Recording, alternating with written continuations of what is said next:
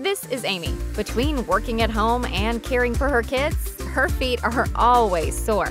That's when she turns to the Homedics Bubble Mate Foot Spa. Amy uses the toe touch controls so she doesn't have to bend down to power on the foot spa. To help soothe her feet, she turns to the invigorating bubbles and exfoliates with the removable pumice stone. The splash guard prevents water from spilling onto the floor. After use, Amy uses the drain spout on the back to easily dispose of the water. Amy trusts Homedics as the established leader in wellness, making life easier and healthier, one innovative solution at a time. Homedics, the number one brand in massage.